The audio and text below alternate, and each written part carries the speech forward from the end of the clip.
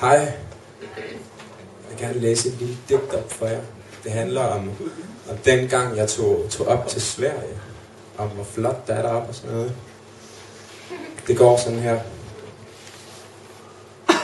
Et vandfald faldt så smukt, mens jeg stod i skov på fjellet, og mærkede vindens vådhed på min kind. Et skrig, der lød fra skoven, det var kravekongens kald, mens jeg mærkede vindens vådhed på min kind.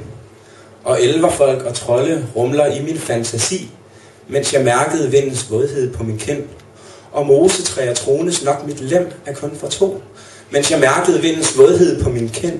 En panda fin, der kom mellem nåletræer stammer, mens jeg mærkede vindens vådhed på min kind.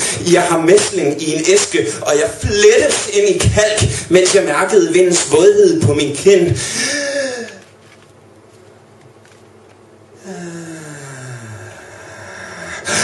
Og jeg strør en færdig finke på mit glasbord algebra, mens jeg mærkede vindens vådhed på min kind. Der bor duer, lomme, lomme, kys min elskovsrede sovs, mens jeg mærkede vindens vådhed på min kind. Og mens strømmen strømme strømmer gennem skovens viadukt, jeg så mærkes vindens vådhed på min kind. Og på vinbromarker, gladiator, bum, bum, bum, jeg mærkede vindens vådhed på min kind sagde den svenske bogfinkefugl, mens jeg mærkede vindens vådhed på min kind. Kend min på vådhed, vindens mærkede jeg mens. Tak skal I have. Det var, det var mit første digt.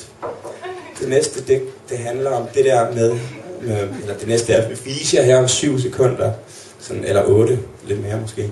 Det handler om det der med, at jeg lidt smider mig ned, smider mig ned i en fart og kravler væk